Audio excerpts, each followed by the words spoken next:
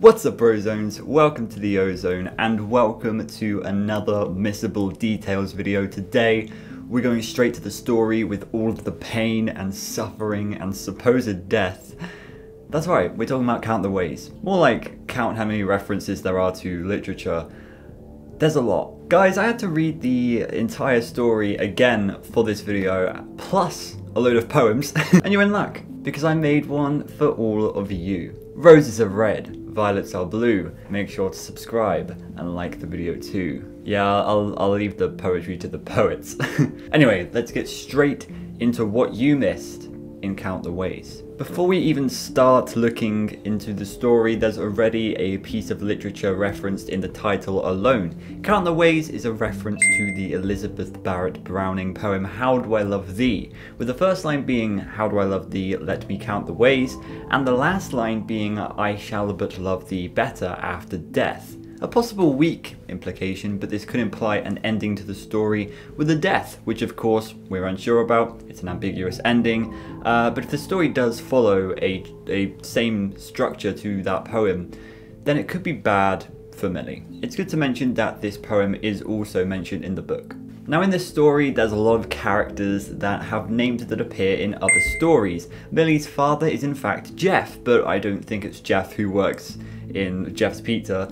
Uh, Millie's uncle is called Rob, like the father in, in The Cliffs, uh, but the wife is alive and they have two children, so they can't be the same person. One of these children is called Hayden, who you are obviously aware is the father in coming home. Again, though, it's a child, so I don't think they're the same person. There's also Hannah, who is uh, Millie's best friend in high school, who shares a name with Matt's ex-wife in In the Flesh. Yes, I know I may be taking this too far, but this is what FNAF is all about these days. Let's not forget Millie's crush Dylan, like the bullion into the pit. I honestly think a lot of these names are just throwaway names and in a way red herrings, but at this point you can never be too sure. Okay, enough about stupid names. Now the story is actually told in two different times, but for the video's sake, I'm going to be going through the events in chronological order. So firstly we understand that Millie doesn't exactly like her name. She was named after her grandmother Millicent while her cat was named Annabel Lee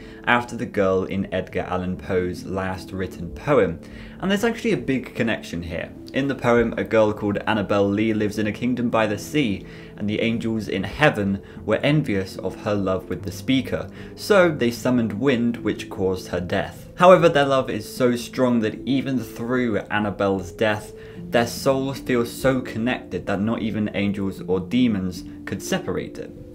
And even just talking about souls here, you can already see quite a big connection to Five Nights at Freddy's. It's possible this piece of literature too implies the death of Millie, but still the presence of her soul after dying. This actually comes back up later too, when Grandpa mentions when his wife died, uh, people tried to set him up with someone else, but they couldn't because he knew that she was the only one for him. Speaking of death, Millie actually mentions that someone may have died in her granddad's 150 year old house. It could be possible that this soul is what possesses Funtime Freddy, and when you think about it, it is weird that Funtime Freddy knows Millie's name. Maybe the person who died knew Millie, or maybe it was an effect of agony, but it's something to consider.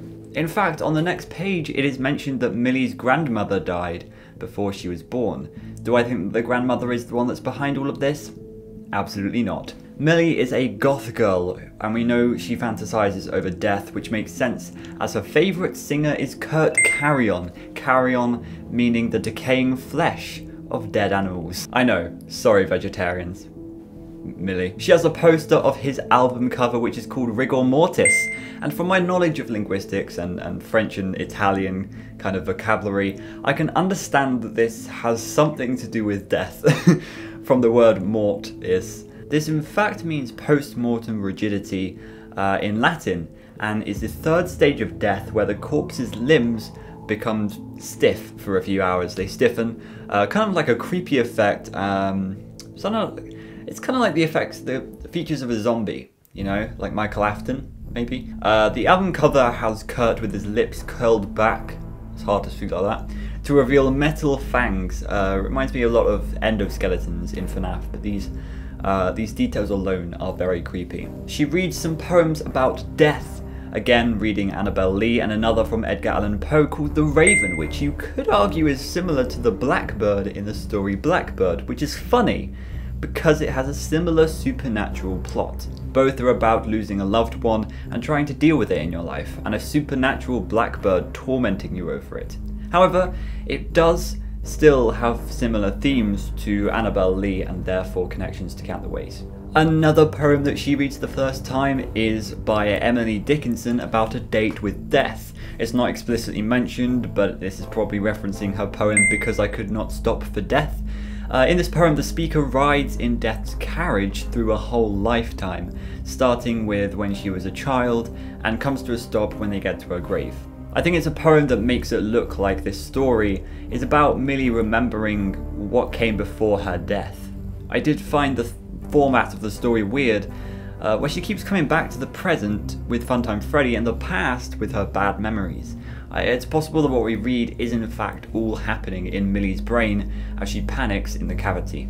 But one more detail that could be something is how she points out how she thinks of death as a, a handsome figure like Kurt Carrion, but also a black cloaked figure which only leads me to think of the Stitch Wraith, which is described by humans as simply a hooded figure. Some of the pieces of literature are also mentioned later on, including Dracula by Bram Stoker, H.P. Lovecraft and the Call of Cthulhu, and once again Edgar Allan Poe, and his Tales of Mystery and Imagination, which is a collection of his Stranger Tales, uh, and one is called out directly, The Fall of the House of Usher, which has a lot about isolation, which is how Millie feels a lot throughout this story. This changes when she meets Dylan, who compliments her black teardrop earrings. I got a little scared here because black teardrop tattoos uh, mean the person has committed a murder, but it's not a tattoo, so we, sh we should be fine. We should be we should be good. Dylan then gets her to read The Lottery by Shirley Jackson, and when she finishes it, her mouth hangs open over the ending. Now, I decided to read this short story, and my god, it's basically its own Fazbear Fright story. It completely gave me the chills. So, to keep the story short, they do this annual rite in town called The Lottery, uh, with 300 people and 300 paper slips. One of these slips is marked with a black dot, and Tessie complains that she was rushed through the process, um, but nobody really cares. At the reveal, we find out that Tessie has the slip with the black dot, and the townspeople start to pick up the gathered stones and throw them at her while she screams about the injustice of the lottery.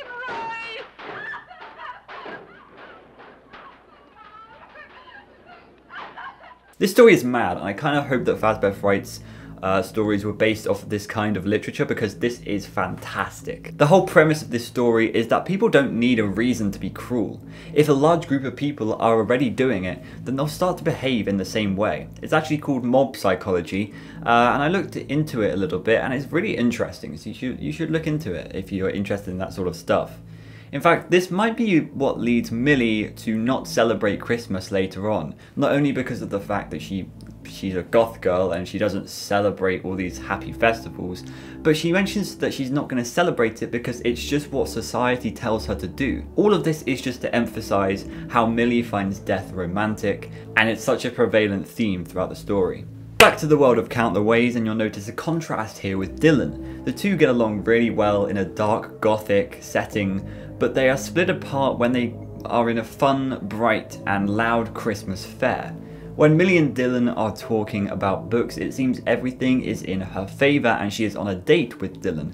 But when she sees him holding hands with someone else at the fair, it seems everything around her is against her and she wants to go on a date with death. This, in fact, is prevalent throughout the whole book, where she doesn't fit in with brightness but feels better in darkness. A bit like vampires, which is ironic because she gets called Dracula's daughter.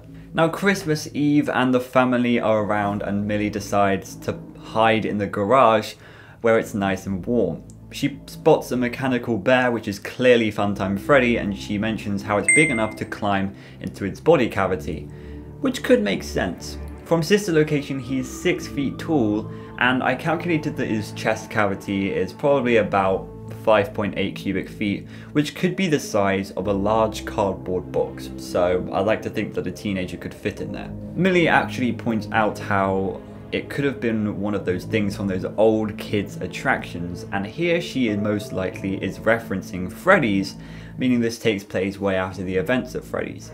But I would like to know how her grandpa got this. It's possible he could have worked at one of the locations in the past, and that's how he got hold of these animatronics. Remember, however, this is one of the animatronics from Circus Baby's Entertainment and Rentals.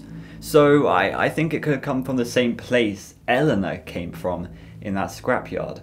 Funtime Freddy mentions being brought here by her grandfather after finding him in a salvage yard, so I think it's totally possible. Millie crawls into the Freddy just to stay there for a while but appears to fall asleep and wakes up to Freddy's voice calling her silly Millie. Strangely before any of this even happens, Millie rhymes her name with silly at the start of the book, possibly a clue that everything that happens came from her mind. Negative thoughts about herself, for being unsuccessful, talking to death through the fear of it, quite literally trapping herself in her own thoughts. I think it's unlikely that she made Funtime Freddy up, but I do like the parallelism with her getting trapped. A few odd details here that make more sense in this context is how Freddy actually says the word death with a capital D, implying he is talking about a physical manifestation of death as a person, and this continues throughout the rest of the book. But he also mentions how she's in the belly of the beast, which is a saying meaning that you're in a very bad situation. That could be why Millie then refers to death with a lowercase d, because as she mentions, her dates with death are fantasies, while she is seeing the true reality of death in the moment. Two different kinds of deaths. Now you may or may not have picked out that Funtime Freddy knows a hell of a lot about death. He talks about how dehydration leads to organ failure in a few days, starvation that depletes your nutrition storage over weeks, and electrocution that can make your heart go into fibrillation. fibrillation. He even has knowledge about Vlad the Impaler and the Forest of the Impaled, as well as the dentist Alfred P. Southwick, who designed the electric chair, and Henry VIII, who made boiling alive an official punishment during his reign. Even how Mary, Queen of Scots, had to have three hacks of decapitation because the blade wasn't sharp enough. I think it's safe to say that Funtime Freddy knows a bit too much about death and history to be an ordinary robot. Interestingly again, Freddy tells Millie that kids at school call her Dracula's daughter and her parents are from Saudi Arabia. How does he know that? I think it's clear that something strange is going on here. Either the origins of Funtime Freddy and the effects of agony or the possibility that Millie is tormenting herself in her own thoughts. Don't forget that Millie fell asleep before Freddy started talking to her. Maybe it's all just a dream like we see in Pizza Kit. Or something a little more sinister. What if Funtime Freddy was created or reprogrammed by Grandpa himself to give Millie the wish that she would never stop talking about? The wish of death. I like that theory a lot. And I'm going to leave you with that thought too as the end of the story shows Funtime Freddy slicing the cavity and doesn't tell us whether Millie dies or not. I think personally from the reference literature and the whole theme of the story that she does die in the end, and I think it would really create closure. It's kind of a sad story when you look at it though, but also for me an underrated one. After rereading this, I actually really like the plot of the story a lot more than I first thought. Anyway, thank you guys so much for watching. Tell me in the comments below what story I should cover next, but for now, Make sure you subscribe and I will see you later. Goodbye.